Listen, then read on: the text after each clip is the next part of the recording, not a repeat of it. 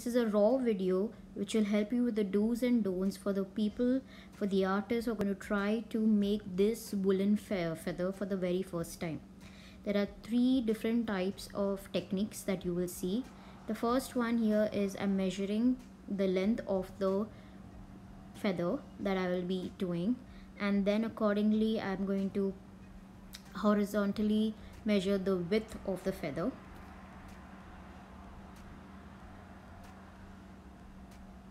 so this turned out to be a little bit small. I would recommend you go in for a little bit big but you can take the same type of measurements that you see in the video. So what I'm doing now here is I am cutting uh, single strands in which I will build my feather. Um, in the other technique you will see a better way of cutting these strands a faster way. This took quite some time for me so I recommend you keep your strand of the uh, feather the the length of it on a wooden board and you can tape it to the wooden board so that it does not move. That is one first I would say your do's and not keep it on your carpet. So as you see I'm taking each strand and I am tying a knot in the center.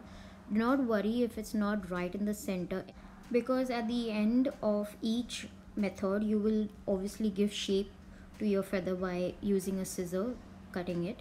So that's completely okay. So I use the first strip as a guide to cut further on strips. This is the amount of strips that you will have to cut based on how fluffy or how big you want your feather to look. Uh, so there is no set amount. I think I use somewhere around 15 to 20 strips over here um, this first method that I tried honestly was quite time consuming. And by the end of it uh, I was not quite happy with the feather also. At least the way uh, it turned out for me. Maybe when you try it for the first time after watching this video it might be a little bit better for you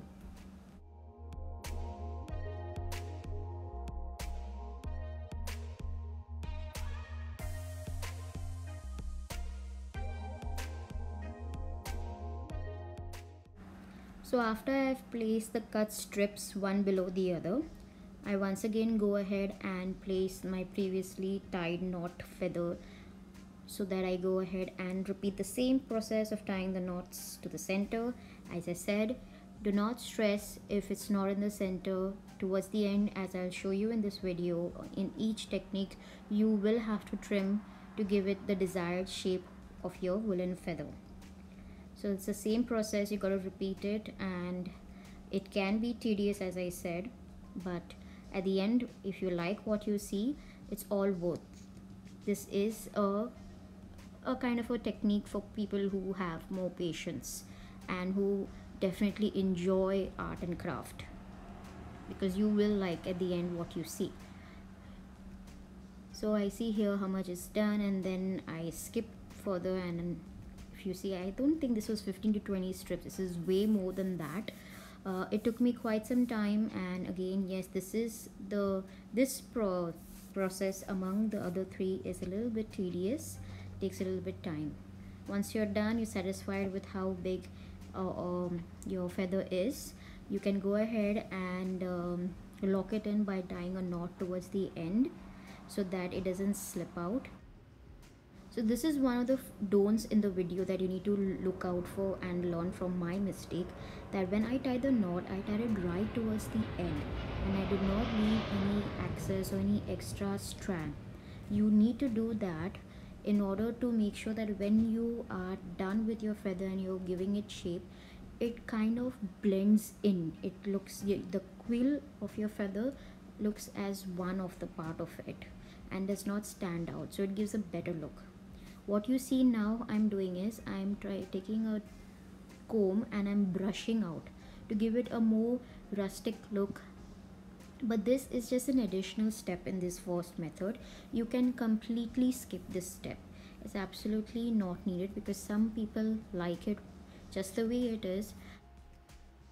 For all those who are going to try this method of brushing out each feather to give it a rustic look I recommend the way you see here hold on to one side while you're brushing on to the other side because there's a high chance that if you don't do that you will end up loosening the knots in the center and even for god forbid destroy your entire feather and then destroying your entire efforts that you've done so far. So be very careful. Again do not do it on a carpet do it on a board so that it's uh, your comb does not get tangled between your wool and your carpet. So finally this is the last stage where you will go ahead and give shape to your feather. Now as you see where I've tied the knot towards the end it's clearly showing a gap and it's not blending in. So make sure you leave enough of strands over there towards the end so that it quickly blends in I'm cutting one side of the feather and I will use this side as in I will fold it into half now and use it as a guide to cut the other side. But you, you can completely skip this whole cutting one side and using as a guide for the other side. You can just use your estimation and cut both the sides by keeping the feather flat on a board. And um, once you're happy with the way it is make sure you tighten it and you're good to go stepping into the second method of creating a woolen feather here is how what i'm doing is i'm creating the length of the feather I would recommend you go for a little longer, at least 7 to 8 inches. And um, you place it on your board. Then with the remaining for the strips, you go ahead and with the help of your palm, roll it around it around your palm and then you can go ahead and cut it accordingly as i mentioned before this is an easier method to do it than the one that you've seen before these strips are going to be also a little bit long because the method of creating this is simpler faster and it looks more fluffier in a short period of time. So each strand you fold it into two into halves and you will place it one below the other the way you see it and you have to then adjust it and pull it towards the center making sure the quill of your feather remains intact and straight so this method is quite simple. Uh, first you may feel that you're getting a little bit confused what goes up and what goes down. But as you see the way i'm doing it eventually it gets really simple and uh, it's quite quick than the first method. So you keep doing this and you see at one time on each side you are adding two strands. Wherein in the first method we were adding just one strand. This didn't take me much time but again the same mistake that I made here is I've kept the bottom of my feather quite less. So when you measure your quill make sure you keep it long enough so that when you towards the end when you're satisfied with the width of your feather the end of the feather where you tie a knot is big enough. So I'm, I'm trying here to adjust it so that I could blend it towards the end. Again you can tie just one knot towards the end and not two knots since it's a it's wool even one will suffice and you don't need to tie two knots. So I keep adjusting my feather. I keep making sure that the center is nice and tight enough the knots that I have tied. And uh, once I'm happy with the way it is I place it flat on the board. And this is just me adjusting it quickly so that once I am happy with the way it is I'll go ahead and start trimming it. Another tip here is the upper part of your feather should be broader than the lower part of your feathers. This is something you will want to bear in mind, especially in this step when you're giving it a shape. Again, I've used one side of the cut feather to use it as a guide to cut the other side. But again, I said you can just keep it flat on your board and use your estimation to cut both the sides and it will still give you a good shape. So I'm happy with the way this second method of my woolen feather turned out the only don't or the thing that you need to learn from here is the knot that I tied at the end should have been longer so that it would have easily blend in. Over here I'm taking I'm trying to get it right in shape by cutting even the smallest sides the smallest edges. But again uh, you can completely leave that. In the past I have used Mod Podge to make sure that what whenever I'm happy with the way my woolen feathers look I add Mod, Mod Podge to it with the help of a brush and leave it to dry so that whatever happens, the feather of your, the shape of your feather remains in that position forever. And it's really really good. It gives you a really good texture but then it makes it stiff. So that's completely up to you if you want to leave it loose or you want to have it as, as a stiff feather. This is the third method and the last method of this video that I've tried. Uh, in this method we are going to crochet the quill of your feather this method the overall leaf turned out to be quite fluffy and quite big because I had a set amount of instructions uh, while following the YouTube video and I will link that YouTube video down for you just in case uh, you may find my um, crochet a little bit confusing. So we start off with uh, 16 to 18 single uh, stitch of crochet and uh, that becomes the quill of your feather. Um, when you're done with uh, 16 stitches you will add a little 3 to 4 more stitches and that becomes the hook of your feather.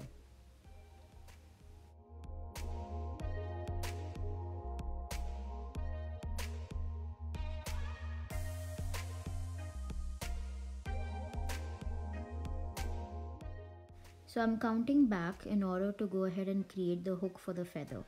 And I slip stitch now. And what we're going to do is we're going to work our way back and make sure that we make the quill of the feather nice and thick. So into each um, chain we are going to slip stitch right till the bottom. And make sure you don't get confused. What happened here with me is when I started slip stitching into each chain uh, instead of just sticking on say to the right side I uh, accidentally started slip stitching to the left side. So make sure you're very focused when you're doing this. Um, and this gives a really good look to your quill. The center of your feather will look lovely nice and thick. So that's how it looks to you will see a little bit bumps here and there because I may have slip stitched additional or maybe on the wrong side. So I'm sure you know the drill by now. The next step is to cut strips to create your woolen feather.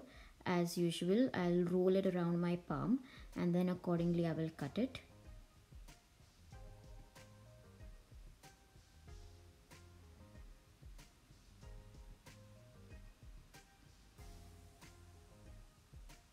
So this is a really good method for people who are very comfortable with crochet.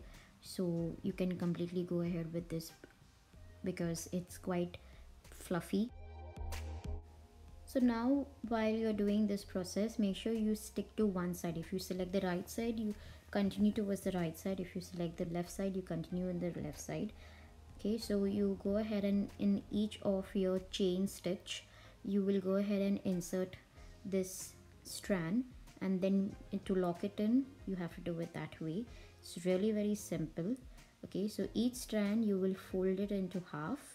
Okay you, you with the help of your needle you pull that halfway through and then the remaining part of it. So that's really simple. You do it for the entire quill and it's a quick process also. It gives you a really good finished fluffy look towards the end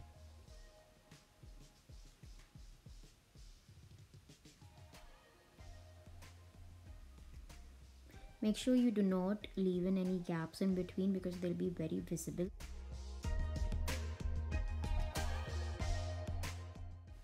So we're almost done with the third method also. Now if you see it's come out it's come out really good and it's as big as my palm size this woolen feather. And just towards the left if you look i think i missed out on one of the chains to go ahead and add the strand so you can see the gap over there. But you can obviously go back and do it because it's really simple. That's the beauty of this method that if you make any errors along the way you can do rectify it even towards the end. For this feather also if you want to keep your feather intact and stiff you can add glue. I would recommend to use mod podge and just leave it out to dry. Otherwise you can just keep it the way it is. Just make sure you trim it well the bottom of the feather should be narrower than the upper part of the feather and that gives it a really good look and you're good to go. I hope this raw video has helped you understand the don'ts through my mistakes. So go ahead give it a try and if you are successful in creating your very first woolen feather do go ahead and tag it's art creative. And if you have any suggestions for similar videos, please feel free to leave it down in the comment section.